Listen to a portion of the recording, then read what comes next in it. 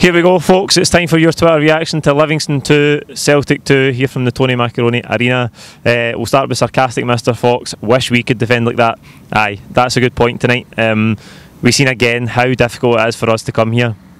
Martin said it in his post match that styles make football matches, and Livingston's style is just kryptonite for us. We, we just can't seem to deal with it at all. I thought we started really well in the game tonight. I thought Callum McGregor scores a fantastic goal, and you think for there, if we go and get another one, we can control the game and we'll have nothing to worry about tonight.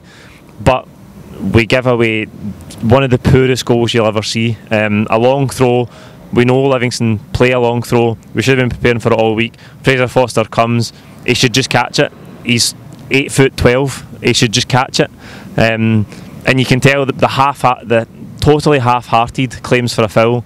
He knew he should have caught it, and he should. Uh, listen, he's been brilliant, but if there's one weakness in his game, that's coming and collecting crosses. That was a throw-in. That wasn't a driven cross. It wasn't a whipped cross. That was a throw-in.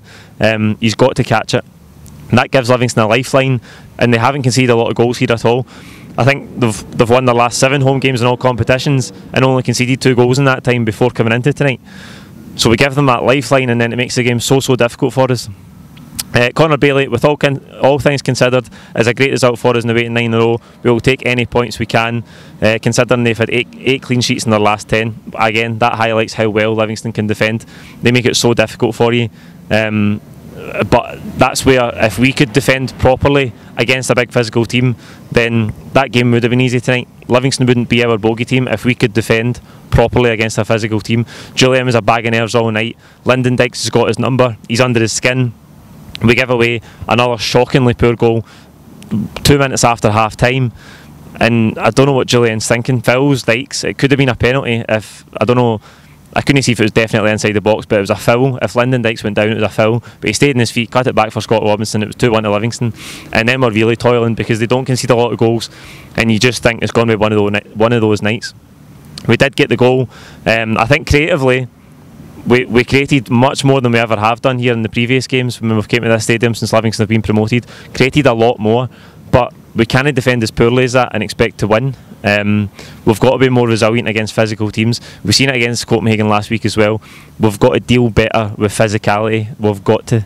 Uh, Dom Oliver, Livy are the most organised team in the league far more so than us or the Zombies. 2 2 is a solid result given the last time we got our arse handed to us. We never gave up and uh, have to give credit for, to Livy for punching well above their weight this season. Aye, you need to give credit to Livy. They are horrible at times. Um, they're horrible all the time, to be fair. They know every trick in the book. Um, been down injured. The, the, the, boys in the dugout are holding the ball to, to delay Celtic's throw ins and stuff and they are horrible to play against, but they're well organised. They do punch above their weight, and I'll tell you something else. They punished our mistakes tonight. Again, like I said after the Copenhagen game, if we punished uh, the opponent's mistakes as much as they punished ours, we'd have won that game comfortably. You think about the chances we had in the first half. Edouard, okay, he's unlucky, hits the post.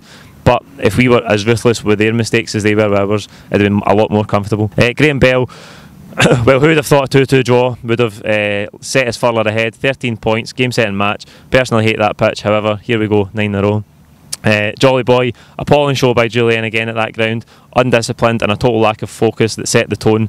Two cartoon goals, but it looks like a good point now. Aye, listen, we've got away with one tonight. I don't think, I say from an attacking point of view, it wasn't the worst performance in the world, particularly given how well Livingston defend, given the, the surface and everything that comes with it. I thought we created enough to, to win the game probably, but we defended so so poorly. And I thought at times in the second half we let Livingston get to us and we shouldn't have done that. But listen, Rangers have lost to Hamilton. I was just saying to a boy at work today, he said, Who's it Rangers playing again? He said Hamilton. I said, Aye. If there's one game, even though Rangers are struggling, if there's one game, they'll beat Hamilton the night you're home. Um, they haven't. That's let us away with that. We've actually extended the lead with a disappointing 2 2 draw. So we are closing in on nine in a row that's the real positive we can take for tonight because there wasn't too many of them. Like the video, comment with your own thoughts below. Please don't forget to subscribe if you haven't already. We'll see you on Saturday for St Mirren. Thank you.